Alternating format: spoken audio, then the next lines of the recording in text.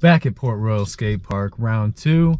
We got the new rails. We're about to go check them out. Do a little bit of skateboarding. Got a transformer flat bar rail, some sort of square rail on the pyramid.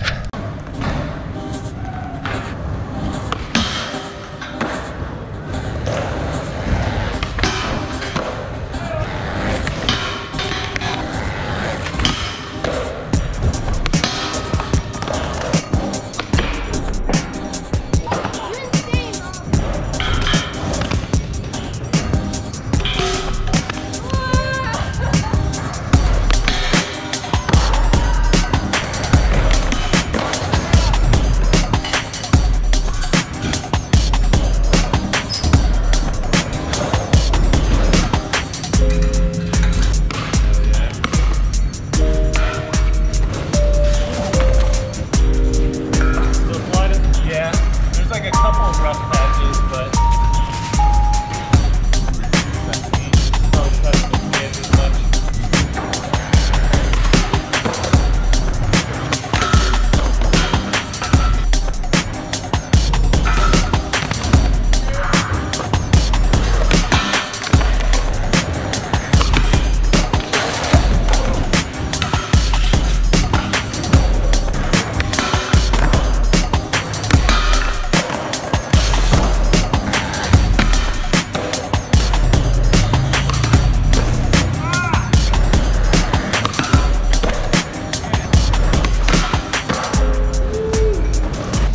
rail on the pyramid here.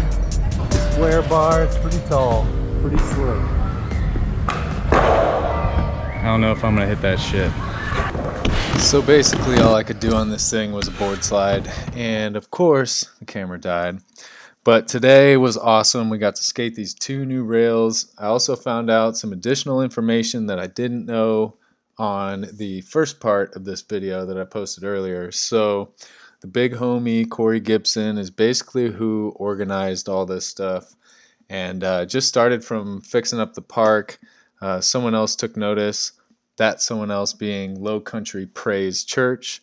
So the way it went down was the city of Beaufort actually matched the church's funds for the Skatelite, and the company Skatelite gave them half off for the material.